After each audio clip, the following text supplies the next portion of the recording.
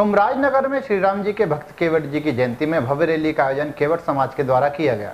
इस मौके पर एक भव्य शोभा यात्रा भी निकाली गई। रैली सदर बाज़ार के मुख्य चौराहे से होती हुई जो नगर के प्रमुख मार्गों से होकर गुजरी। इस मौके पर जिला पंचायत अध्यक्ष पति बबलू चौहान ने रैली में शामिल सभी केवट समाज के बुज़ुर्गों का साफा बांधकर स्वागत किया। इस अवसर पर चौहान ग्रुप के दिलीप सिंह, बुंदेल सिंह, अनंत सिंह, संतोष बौद्ध, सुदेश जैन, रामदयाल ओझा, अशोक नामदेव, पप्पू चौरसी आदि मौजूद रहे।